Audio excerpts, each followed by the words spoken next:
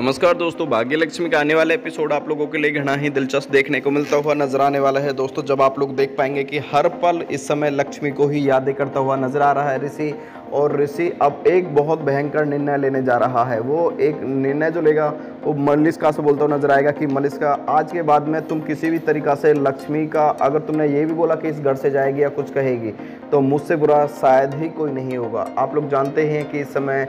कुछ भी सुनना नहीं चाहता है ऋषि वो भी लक्ष्मी के लिए। जी हाँ क्योंकि लक्ष्मी को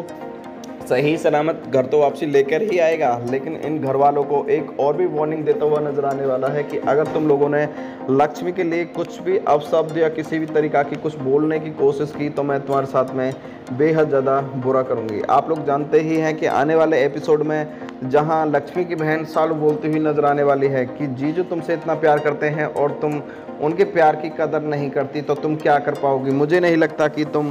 किसी और के प्यार के काबिल भी हो, क्योंकि जो तुम्हें इतना प्यार करने वाला पति मिला था और तुम फिर भी उस पर विश्वास और उसकी कदर नहीं कर रही दीदी तो आप किसी की भी नहीं कर सकती इस दुनिया में ये याद रखना। आप लोग जानते हैं कि इस समय बेहद ज़्यादा व्याकुल स्थिति में नज़र आ रही है आखिरकार। आप लोग जानते ही हैं कि इस समय बेहद ही बड़ा नाम होना ज़रूरी है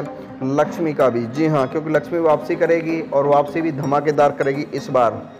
क्योंकि ऋषि कोर्ट मैरिज करेगा और उसके बाद में बोलता हुआ नज़र आएगा कि कोर्ट के थ्रू भी लक्ष्मी मेरी वाइफ है, कोई कुछ बोल भी नहीं सकता। साथ ही दोस्तों, आप लोगों को बता देना चाहता हूँ कि जल्दी ही आप लोगों के बीच में कहानी में एक और भी नया टूस्ट देखने को मिलता हुआ नज़र आने वाला है दोस्तों, जिसके लिए आप मेरे यूट्यूब चैनल को सब्सक्राइब करें